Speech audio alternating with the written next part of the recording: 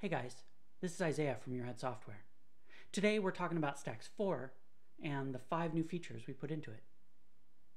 So before I jump into the features, um, I just want to say I'm going to break these videos up into five little videos. Um, that way you can watch them one at a time or even pick and choose just the features you're interested in. If you do pick and choose, make sure and watch feature number 5.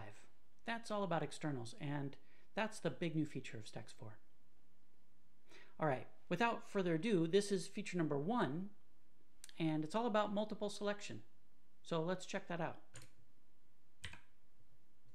So I have a document here with, yeah, a few stacks in it.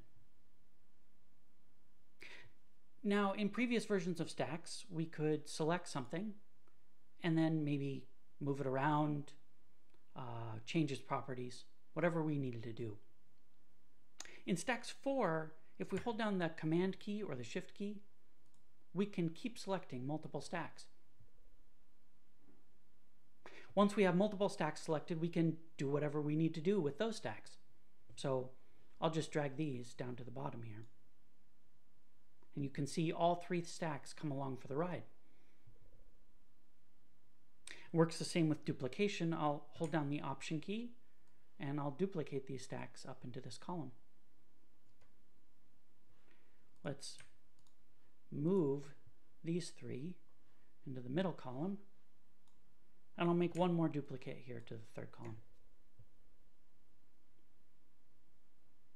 So it's really easy to move things around, copy things, paste things, uh, delete things. All of those things that you do with stacks work pretty well with multiple selection. But it gets a little bit better than that.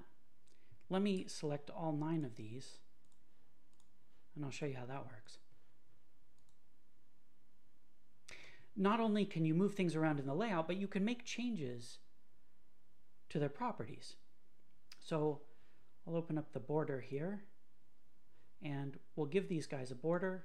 We'll round the corners and I'll make the borders blue. Right?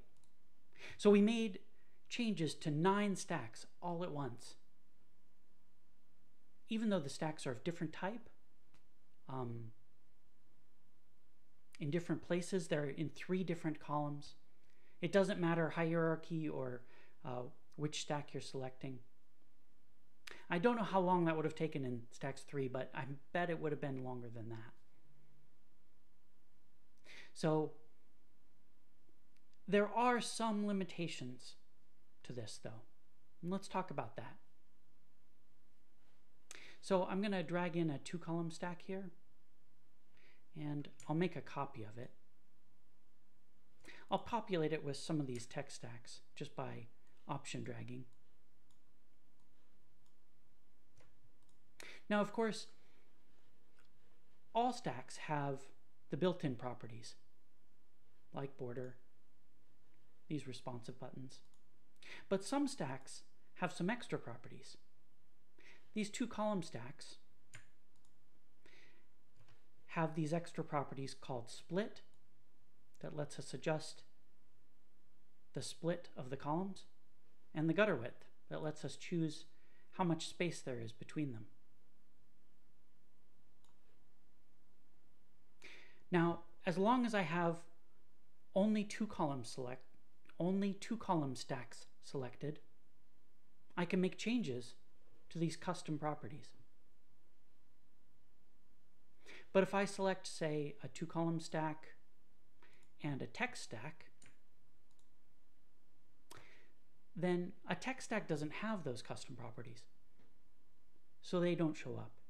In fact, no custom properties will show up if you have two different types of stacks selected even if they share some custom properties that might have the same name, there's a good chance that those, those properties underneath the hood of that stack work a lot differently. So for safety, custom properties are only editable when you have multiple of the same exact stack selected. So if I select all of these markdown stacks, those have the custom property to render the markdown or not. and we can make that change so long as all we have selected is markdown stacks. So that's a quick look at some of the powers that are there with multiple selection in Stacks 4.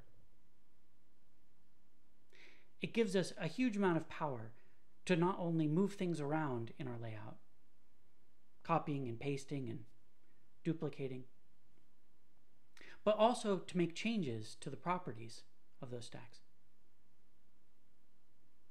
So definitely give that a try.